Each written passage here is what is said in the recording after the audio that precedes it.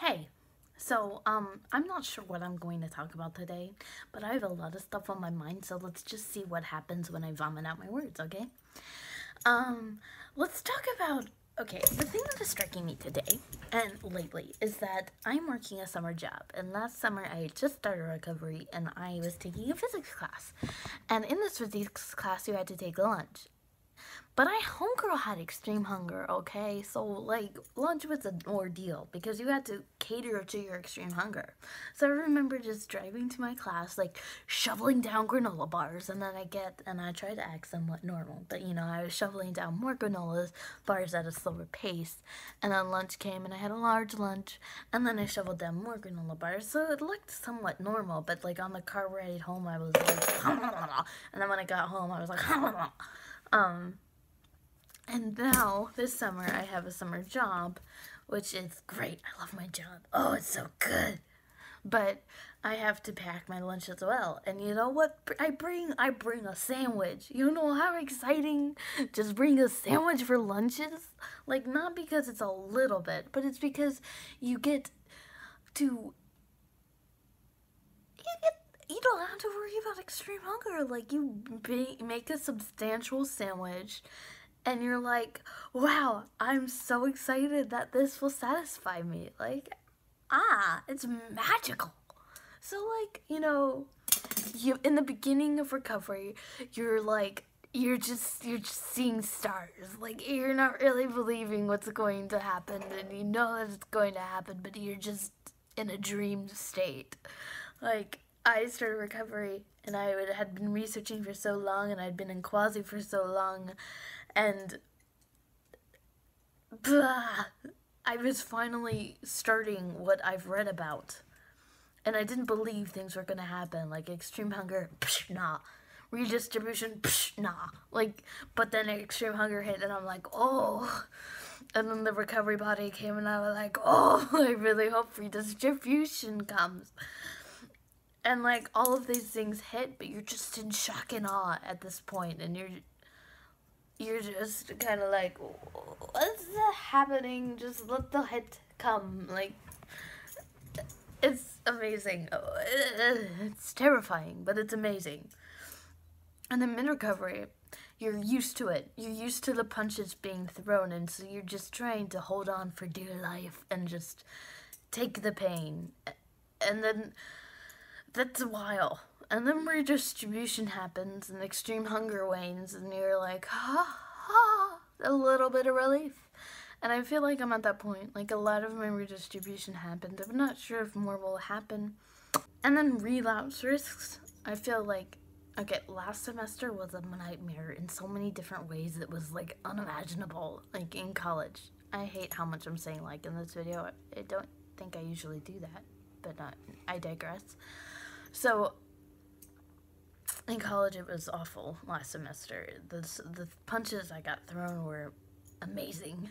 and I had the conversation with myself of deciding do I want to relapse? Because I had moments that I was exhibiting relapsing behavior, but I never fully did until one day where I thought, I really want to relapse, just fully, just like completely relapse. And I was like, nope, like that's stupid. And i gave my reasons why. And that was the foundations of recovery video. Like i'm not doing that.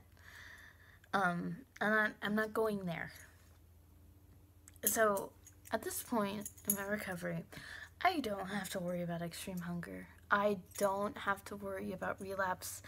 And i'm not hating every part of my body anymore. And it's weird like for the entirety of my year, I have been so focused on recovery and so focused on the different stages and the different struggle those stages bring. It's so weird to like to be free of those struggles. Not completely, and you always need to stay alert and be monitoring yourself and be honest with yourself about anorexia, but oh, jeez it is so much different and it is so much better and so much less work and it really does pay off. I'm so glad that I acquiesced to my extreme hunger every time that I hit. I'm so glad I put myself through that. I'm so glad I ate till I felt sick. And I'm really glad that I let myself have those 16 brownies in one day, in one sitting. It's rough and you don't think it's ever going you're never going to see the light at the end of the tunnel but i am. Like this summer has been wow. I'm pretty much in remission if you want to call it that i passed my recovery my relapse risk. That was last semester. If i were to relapse it would have been then. And i passed it. And i hope for those of you who have relapsed that this isn't discouraging for you because just because you relapse doesn't mean you're done. You can still get up, and you can still fight, and you can still get to the remission point. And your body will thank you, and your your mind will thank you, and your friends will thank you, your family will thank you. Like, it's worth it to stand back up.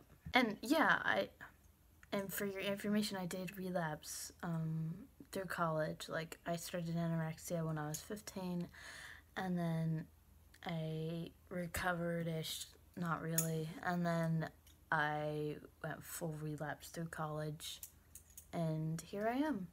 A year after I started re- real recovery, actual recovery, extreme hunger, ugly, tearful recovery. And I'm her. You can do it you got this and the road is bumpy, but then you realize you're at the end of the road and you're like, wow, I've come a long way. I guess the point of this video is just kind of mapping out my terrain of recovery and I would love to hear your comparative recovery or where you think you are or where you hope to be or what you have experienced, just let me know. Also, would a video about like specific changes in the body be interesting to you? Like, I don't know. I don't know. Yeah. It, yeah. So that's a question I'm putting out there. So, um, I'll talk to you later. Bye.